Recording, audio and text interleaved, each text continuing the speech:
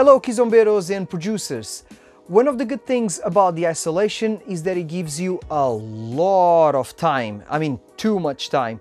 As such, I got producing again. It has been about around uh, more or less around two years, but uh, I'm glad I came back. We've decided to uh, turn these production videos into a series because uh, we got a lot of engagement on social media since the last one. So people asking for the software, the plugins that I've used. Uh, there was even some producers getting in touch to share their music and even asking for feedback. So we've decided to keep these videos going. For the second video on uh, how to make a kizomba beat, I'll be composing again a tarraxa. However, it's not a regular one. Instead, I'll be doing it with a little bit of an Arabic Middle Eastern style. This beat will be inspired in one of my favorite producers of all time, Scott Storch. And now you ask, who the hell is Scott Storch? Trust me on this one, you may not know his name, but you absolutely know his music. Have you ever heard this?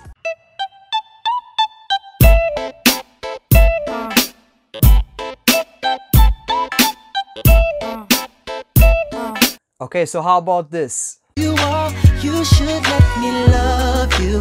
Let me be the one to give you everything you want and need. In this? Yeah. Shady. Aftermath. How about the biggest hit of his career? Yeah, nigga. I'm still fucking with you. Still waters run deep. Snoop Dogg and D.R.E. Nah, nah, nigga. Guess who's back? Oh yeah, be honest, you also thought it was produced by Dr. Dre, but no, on this one it was actually Scott Storch. But uh, without further ado, let's crack on, so roll out the intro.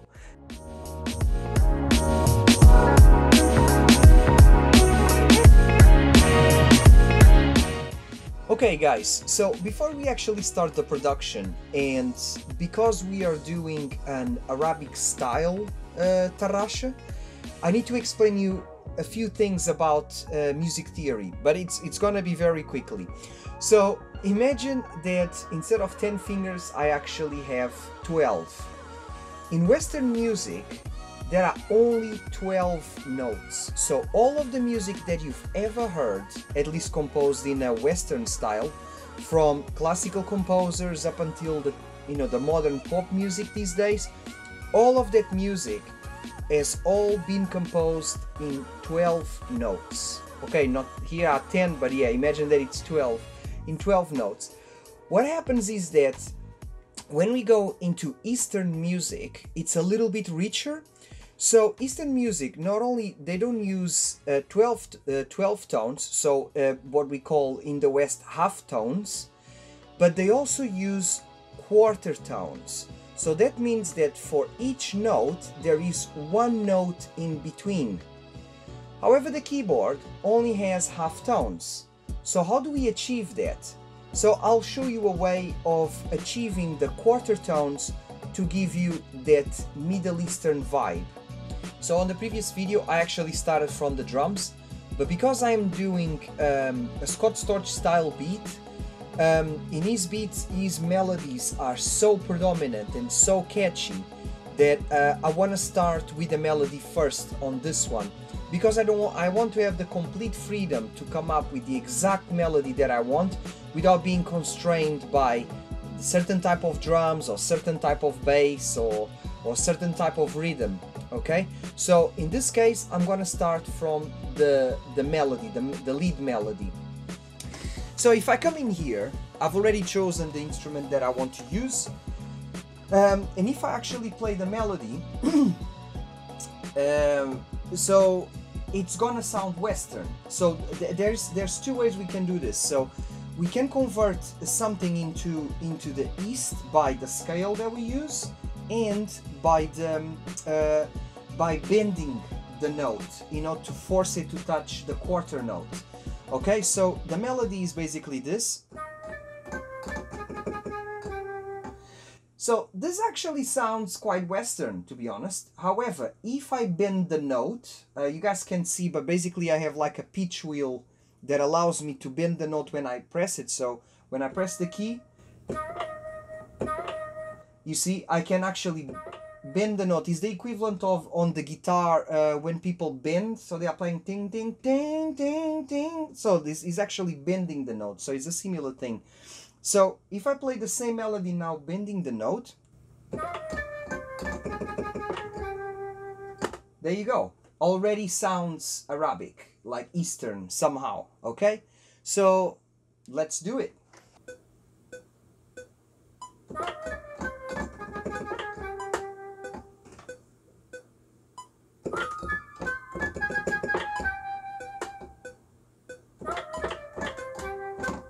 So also it is important to use um, uh, specific ethnic instruments as well. So I use the flute, which is like a very ethnic instrument, the same as a Western instrument. Um, but uh, for example, this one that I'm going to use now is specifically uh, uh ethnic. Uh, it's called a sitar, uh, which is kind of like a guitar.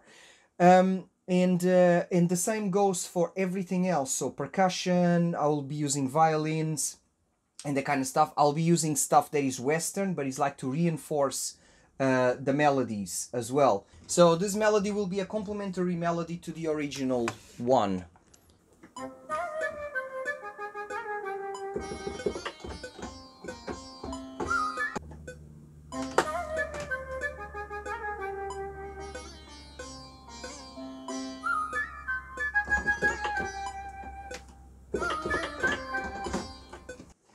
So now I just reinforced the melody a little bit um, and uh, added a, a, couple more notes, but the repetition of those, so just turn it, uh, just the melody richer, and um, and so this is what I what I have so far.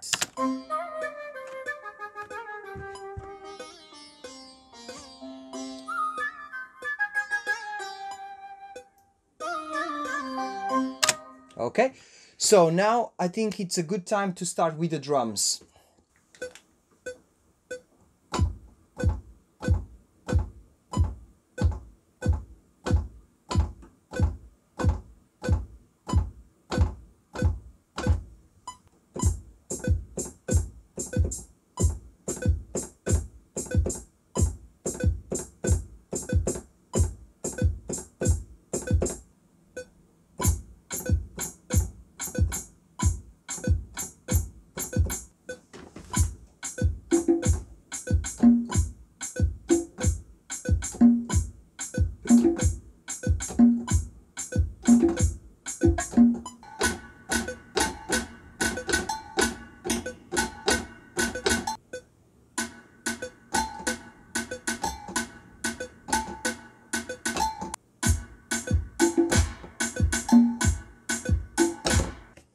Okay, and so some of these, uh, they, they come in later on, they come in before.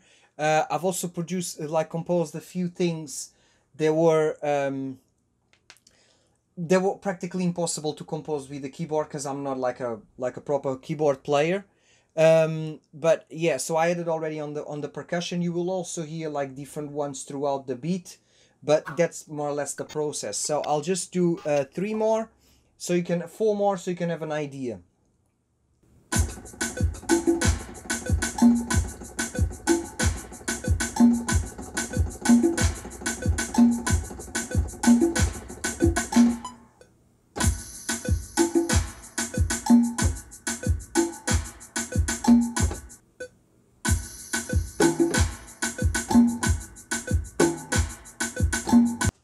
So, so far this is how it's sounding.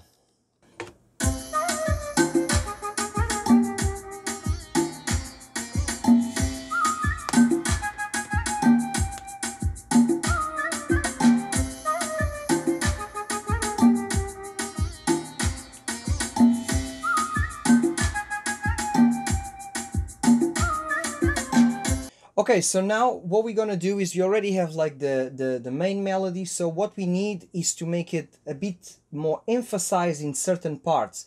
One of the things about bouncy music like clubbing and and uh, tarraxa is the same like dance dancing kind of stuff is that we have to increase it uh, in parts so that we can drop it and when we drop it um, usually builds up for another increase as well.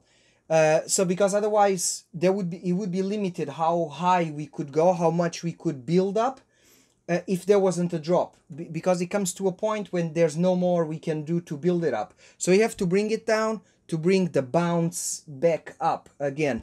So let's start. So I'm gonna start with some piano.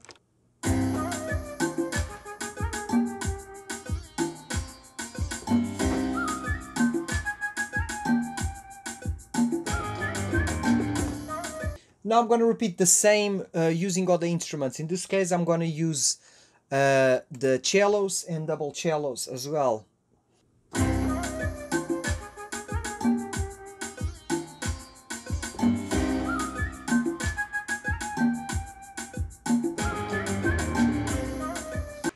And now brass. I am a very big fan of brass um, uh, from my uh, uh, back into my orchestral soundtrack times brass is some of my favorites. So I'm gonna use a French horn on this. I know it's, it sounds weird. Uh, I don't even use the trap version. I, I use the actual orchestral uh, brass version. Uh, it's more crisp, so I, I prefer it. So let's use the, the French horn on this one. Same thing.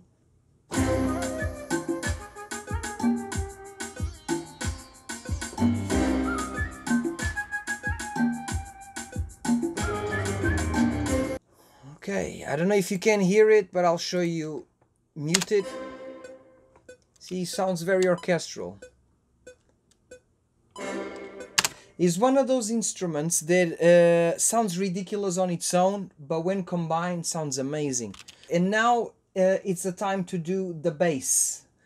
Um, so yeah, the bass is gonna be just not gonna be too full because it's already too full. It's gonna be just to reinforce what I'm doing here.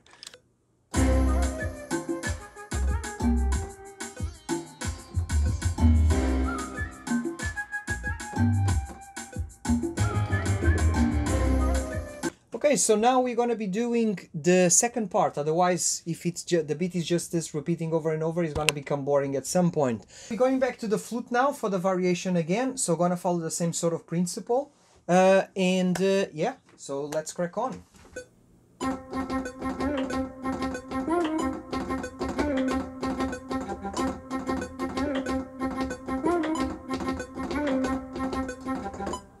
Okay, so now let's do again the complementary melody to this melody with the sitar again. Kind of follow the same mind principle.